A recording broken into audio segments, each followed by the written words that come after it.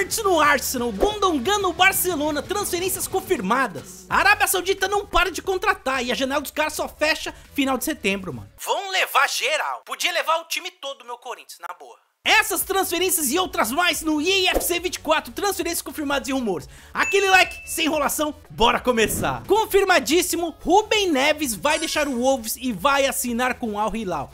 Galera, por dois anos de contrato, ele vai receber uma bolada de grana. Para efeito de comparação, o salário dele no Wolves é 60 mil euros semanais. E no Al Hilal, mano, ele vai receber 350 mil euros por semana. E essa transferência é muito importante porque vai ser a primeira transferência que um clube saudita vai pagar o valor da contratação. Pra quem não sabe, Benzema e Kanté, mano, jogadores do Al Ittihad, saíram livres do mercado. Eles não pagaram o passe dos caras, mano, só o salário. Aqui é diferente, mano. O Al Hilal vai pagar 55 milhões para o Wolves pelo passe do português. Muita gente tá falando, mano, o cara tem 26 anos, como vocês sabem, ele joga pra caramba, tem muito mercado na Europa em times de Champions League, mas vai pra Arábia por causa da bolada. Você com 26 anos, galera, jogando na Premier League, o que você faria? Iria para um time melhor ou ia para a Arábia Saudita jogar 2, 3 anos lá, mano, fazer grana pra caramba? Fala pra mim. E o Ben Neves vai ter um novo parceiro no seu time, mano, que vai vir também da Premier League. Sim, galera, Colibali é do Al Hilal, já se acertou com o clube, o Chelsea também aceitou a proposta e, mano, esse zagueirão vai pra lá. Lembrando que na última temporada ele foi pro Chelsea, pagaram quase 40 milhões de euros por ele, só que ele, juntamente com o clube todo, né, mano, não correspondeu. E com isso, em vez de ele tentar outro clube da Premier League, voltar pra Itália, o cara resolveu, mano, virar mais milionário ainda, jogando no Al Hilal. Que nem eu já mencionei no Twitter, mano. Sem essas contratações já tava sendo difícil pro time brasileiro chegar na final do Mundial. Imagina agora. E o Chelsea tá nessa pegada, né, mano, de tentar fazer caixa, porque eles gastaram dinheiro pra caramba na última temporada com o novo dono americano. Se liga só, porque eles também vão vender o goleiro Mendy, mano. Sim, um goleiro que foi importante pra eles na sua segunda Champions League, só que na última temporada ele foi perdendo espaço. Mesma coisa, galera. Dessa vez ele não vai pro Al Hilal, não vai pro Al Nasser, vai pro Al Ali. Não confundir com o Al Ali, o time egípcio que sempre tá indo pro Mundial de Clubes, tá ganhando título pra caramba. É esse Al Ali da Arábia Saudita, mano. O goleiro já aceitou a proposta do clube saudita, mano, que deve ser uma bolada também. E se liga só, só falta aceitar o valor da transferência, que mais uma vez, mano, ele não vai sair de graça. O clube saudita vai pagar algum valor pra ele, que todo mundo tá especulando que vai ser entre 18 milhões até 25 milhões. O fato é, mano, mano, por Colibali e Mendy, o Chelsea quer lucrar 40 milhões de euros, no mínimo. Quando a China começou a contratar geral, a gente ficou assustado, mano. Mas o que a Arábia Saudita tá fazendo, isso nunca aconteceu na história do futebol, mano, fora da Europa. Bagulho surreal. O Chelsea deve estar tá feliz com a Arábia Saudita, mano, que tá comprando os jogadores deles tudo. Porque Ziyech, mano, vai ser do Al Nasser, vai ser parça do CR7. Esse jogador marroquino que brilhou na Copa do Mundo junto com a sua seleção vai pro clube do Cristiano Ronaldo. O jogador já aceitou a proposta, mano, e vai ficar no clube até 2026. E parece que isso tá sendo a norma desses jogadores, né, mano? Eles vão tentar aguentar até a próxima Copa do Mundo e quem sabe depois continua lá ou vaza fora o nível da Arábia Saudita é uma ótima contratação. E esse é o valor que eles estão tentando é, pagar por ele, mano. 22 milhões de euros, mano. Além de oferecer esses contratos bizarros, os clubes sauditas também estão querendo pagar os valores das transferências. O Chelsea tá vendendo geral, limpando a sua casa. E acabou de vender mais um, mano, pro rival. Kai Havertz é a primeira contratação oficial dos Gunners para a próxima temporada, mano. O Chelsea não queria vender ele para um clube rival, mas o que pesou é que o jogador alemão, ele quer ficar em Londres, não quer sair da Inglaterra, galera. E outra, né, mano, o Arsenal tá na Champions League. Então o cara vai sair de um time que infelizmente não se classificou para disputar um dos maiores campeonatos do mundo e cá entre nós, galera, ele chegando no Arsenal vai ajudar pra caramba. Porque o que pecou no Arsenal na última temporada foi que eles não tinham elenco, mano, pra bater de frente com o City na reta final da temporada. Foi perdendo força.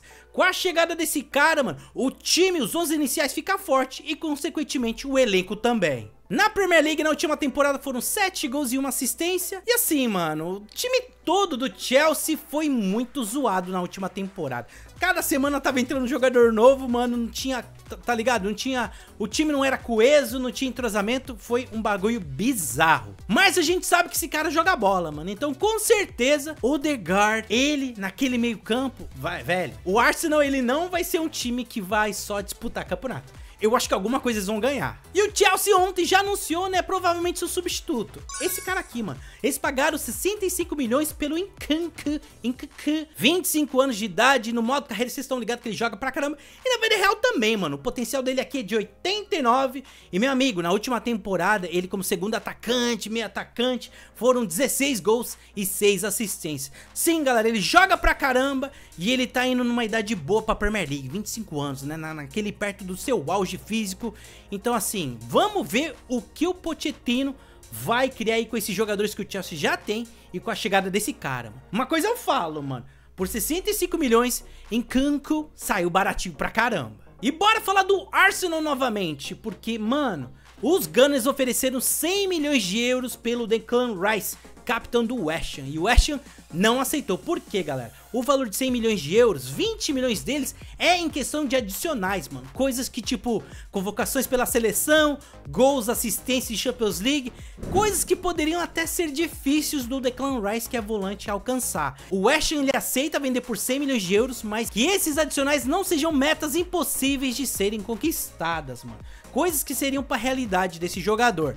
Então eles estão conversando, mas o fato é, mano, por 100 milhões de euros é o valor que o West Ham quer por esse jogador. Se nenhum outro clube entrar na parada, mano, Declan Rice vai sim pro Arsenal, que mais uma vez cai naquele tema. Tão melhorando o meio campo dele pra caramba, mano. Com Declan Rice, com Havertz, com Odegaard. Meu amigo, o Arsenal vem pra ganhar títulos. Quem também quer ganhar títulos, mano, e fez uma proposta que, cara, eu tô surpreso. Sim, galera, o Newcastle ofereceu 70 milhões pelo Sandro Tonali, meio campista do Milan. E parece que a oferta pro jogador, mano, vai ser o dobro do que ele recebe no Milan. E sim, mano, tudo indica que ele vai aceitar a proposta e o Milan também, porque o Milan quer a grana. Imagina o meio campo com Bruno Guimarães, Joelton e ele aqui na volância, mano. É um time que, cara, se em dois anos de novo donos que eles têm, os novos investidores, eles chegaram já na Champions League, Imaginam que eles não podem conquistar em 5 anos, 4 anos ou até na próxima temporada. Se eu pesquisei direito na Série A na última temporada, ele como volante conquistou 7 assistências. E cá entre nós, mano, o trabalho do volante ali é, é, é, ficar protegendo a defesa e organizar a bola ali entre os meio campos, defender bem e tal. Então 7 assistências pro volante, mano. Bom demais. E sabe quem se ferrou nessa história, mano? O craque lá do Milan, Rafael Leão. Ele renovou o contrato com o Milan porque o diretor Maldini, lenda do clube, né, falou, mano, renova aí que a gente vai ter um projeto massa pra você. Assim que acabou a temporada, mandaram o Maldini embora e agora estão prestes a vender o Tonali. Então, tipo assim, Rafael Leão, mano, vai ficar lá talvez com o time defasado, tentando carregar a molecada toda. E pesquisando um pouquinho, mano, parece que o Milan vai usar essa grana dessa possível venda do Tonali pro Newcastle para reforçar o seu elenco, mano. E um deles, possivelmente, é o Marcos Thuram. Ele que estava no Borussia Mönchengladbach. Fala isso rápido, quero ver, mano. Na Bundesliga, o cara anotou 13 gols, 6 assistências, jogou final de Copa do Mundo, se não me engano, acho que ele entrou assim no segundo tempo, lá né, da final contra a Argentina. Então, mano, parece que o Milan vai pegar essa grana do Tonali e reforçar os outros setores do time. E aí, mano, o que, que, vocês acham que vai acontecer? O que o Rafael Leão deveria ter feito? Fala pra mim. E bora falar da transferência mais importante do vídeo de hoje, galera. Sim, Gundogan já fez exames médicos, assinou e é jogador do Real Madrid por custo livre. O jogador no final da temporada ele tava assim, ah, não sei se eu vou, não tá decidido nada, mas hoje foi decidido e já anunciado por quase todo mundo. Já já o Barcelona também anuncia, mano.